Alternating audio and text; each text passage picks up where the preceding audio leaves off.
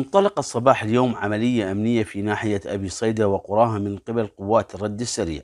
أسفرت عن اعتقال أربع مطلوبين أحدهم محكوم بالإعدام وتفعيل عشرات مذكرات القبض بالإضافة إلى مصادرة كميات من الأسلحة وتدمير عدد من المضافات.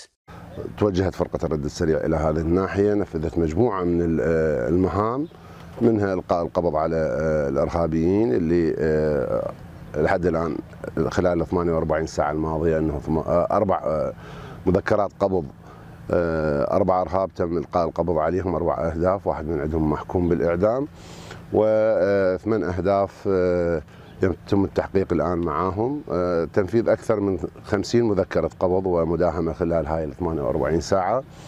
تفتيش مناطق واسعة استيلاء على مجموعة كبيرة من الأعتدة والأسلحة تجاوزت ال 50 قطعة سلاح وكميات كبيرة من الأعتدة. تقريبا 18 مضافة للعصابات موجودة بالبساتين داخل. وأضاف أبطال قوات الرد السريع بأن هذه المناطق تعتبر ملاذا آمنا لعصابات داعش بسبب طبيعة الأرض واستغلالها من قبلهم ونصب العبوات والمفرقعات التي تعيق تحرك هذه القوات وتمنع حتى الأهالي من ممارسة أعمالهم الزراعية. نعم هذه المنطقة تشكل حاضنة للإرهاب بصورة عامة بحسب طبيعتها الجغرافية والدهاليز اللي نشوفونها داخل المنطقة والمخابئ الموجودة داخل المنطقة. الحمد لله قدرنا أن نطهرها بطريقة صحيحة وفتشناها بطريقة نظامية ويعني كل شبر كنا متواجدين. رغم كثافتها ورغم مساحاتها الشاسعة.